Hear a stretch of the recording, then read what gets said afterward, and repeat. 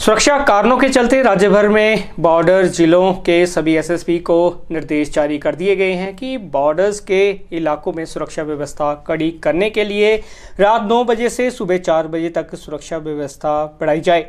वहीं जिला पठानकोट को भी खास निर्देश जारी किए गए हैं कि जे से आने वाली गाड़ियों को बारीकी से चेक किया जाए। इस पर जानकारी देते हुए एसएसपी पठानकोट ने बताया है कि बॉर्डर इलाकों में सेकेंड लाइन लगातार काम में जुटी हुई है। वहीं एसएसपी पठानकोट सुरेंद्र लांबा ने बताया है कि बॉर्डर के इलाकों में लगातार नाइट चेकिंग चल रही है और सुरक्षा को और कड़ा कर दिया गया है। आ, हमें इंस्ट्रक्शंस टाइम टाइम पे मिलती रहती है। जैसे आपको पता है कि अभी रिसेंटली भी हमें इंस्ट्रक्शन मानजो डीजीपी साहब की तरफ़ से आई है। जिसमें सिक्योरिटी बॉर्डर एरिया में जो है उसके पुख्ता प्रबंध करने के निर्देश हमें दिए गए हैं। तो हमने एक चाक चौबंद सुरक्षा व्यवस्था ऑलरेडी की हुई है और उसके अंदर जो भी मानजोग डीजीपी साहब के डायरेक्शंस के हिसाब से जो भी करेक्शंस और जो भी अमेंडमेंट्स अपग्रेड करने हैं वो हम करवा रहे हैं। तो वो सुरक्षा व्यवस्था इन प्लेस जो है जो चेंजेस के साथ में कल सुबह से हो जाएगी। और इसके अंदर हम जो बॉर्डर एरिया के अंदर जो डोमिनेशन के जो नाके हैं आ, उनके हर नाके के ऊपर एक एनजीओ मिनिमम हाजिर होगा चौबीस घंटे नाकाबंदी के दौरान। जो हमारे सेकंड लाइन ऑफ़ डिफेंस के नाके हैं और उनके ऊपर।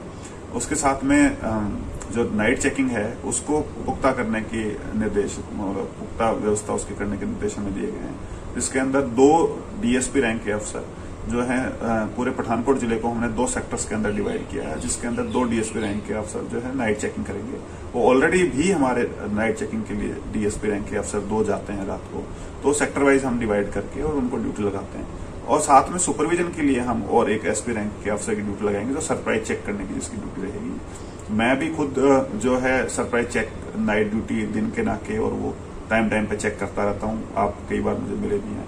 तो इस तरीके से तो सुरक्षा व्यवस्था जो है, वो एक हमारी जो लोकेशन के हिसाब से एक इम्पोर्टेंट एस्पेक्ट है और उसको हम प्रॉपरली उसको देखेंगे और प्रॉपर व्यवस्था उसकी करवा के रखेंगे।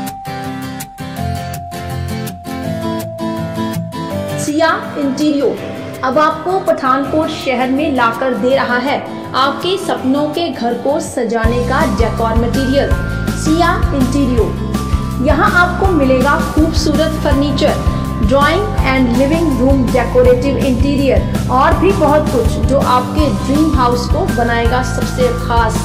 क्योंकि आपका घर खूबसूरत फर्नीचर और इंटीरियर के बिना अधूरा है। सिया इंटीरियो एक ऐसा एक्सक्लूसिव शोरूम जहाँ सिर्फ़ घर को ही नहीं सपनों को सजाने की बेहतरीन कलेक्शन मिलती है जो आपके घर को बनाएगा दूसरों से सुंदर और आकर्षक। तो सिया इंटीरियो पर आइए और अपने सपनों को साकार कीजिए।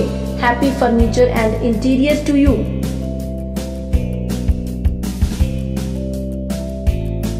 Ragi Home Decor.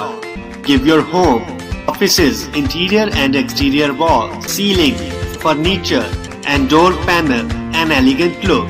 Expert in UV PVC wall, wallpapers, partition जाली आपकी काल्पनिक सोच को उतारे आकार में और आकार सवारे ward number 11 near novelty mall Mamun road Pathankot